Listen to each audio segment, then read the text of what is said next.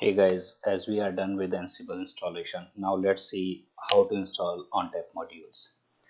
So uh, we will see if NetApp ONTAP modules are already there in the NetApp Ansible installation or not. And if they are already there, then why we need to install them again. So just run Ansible version command and go to this path in this is one of the ansible directory and you can see under ansible directory there are different directories and files go to modules. Under modules you can see different modules for networking storage systems etc in this case we'll go to storage. Uh, you can see our modules from different vendors like EMC, IBM, NetApp. Let's go to NetApp folder over here and you can see different modules already there under NetApp folder. So basically uh, um, modules are already there under NetApp uh, Ansible installation but um, we still need to install that and the reason for that is because sometimes these modules uh, are not up to date and another reason is uh, these modules have different uh, library requirements or different packages requirement which are which does not come up with standard ansible installation. In that case uh, we go ahead and install these modules again separately. So in this video we'll talk about how we can install these modules. So uh, just go to internet search for netapp.io ansible NetApp.io, uh, I'm not sure if you are aware or not. NetApp.io is one of the very famous website uh, which is uh, run by some of the NetApp gurus and they provide really amazing information. So just go to this link which talks about install Ansible. Once you are on this link, you go to this page, you can see they have very fantastic documentation about NetApp Ansible integration and NetApp Ansible automation where you can see how to install Ansible on your system. You can also see uh, how to update your modules, NetApp modules, how to create your first playbooks, etc.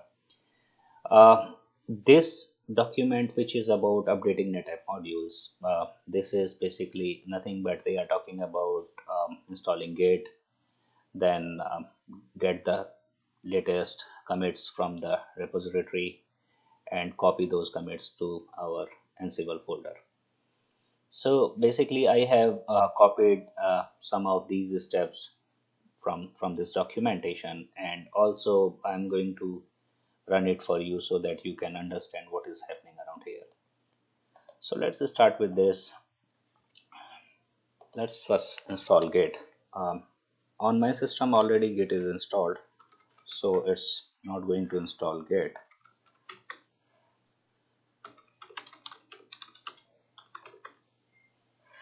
yeah it, you can see that this git is already installed on my system.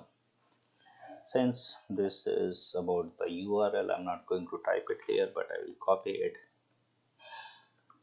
So you can see um, it is going to download the repo from the repository. But i will um, pause this video here until this download finish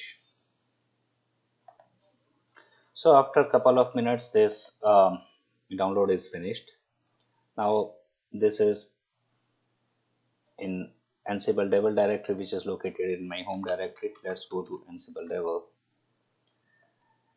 uh, you can see uh, it has downloaded on the packages from the github. Now next step says git pull which is nothing but um, it will pull the latest version out of there. So in our environment it is already up to date. Probably in your environment it, it will pull something. Now it is asking me to go to this uh, library folder. Let's see. Cd lib dash ansible okay uh, i can see different modules are already here and uh, this is nothing but the same path. It should be modules storage netapp and if i see what all is there so you can see all the all those modules are already there so this package generally comes with a standard installation so um, Ansible comes with a standard installation and this one will, should have the latest um, packages, latest modules. Now uh, here um, they ask me to copy uh, this location in this location all these modules. But um, for me it is uh, this path would be different. And to get this path information I'll show you where we can get that. But first let's go back to the same Ansible folder.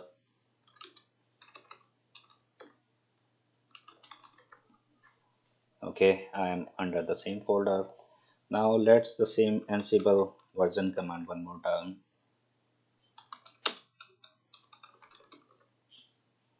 okay?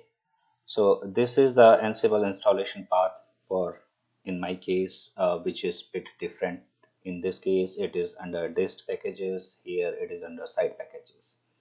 So let's copy uh, some of the portion of this command which says yes this and this need to be this need to go under this which is not the correct path in our case and I will choose the correct path which is over here.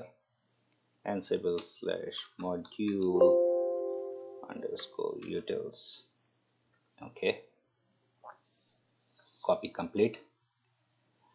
Now the another copy operation which is for modules. This is the one okay these are the another one and this cannot go under module utils so this need to go under modules. And I guess site. Storage net NetApp modules storage net NetApp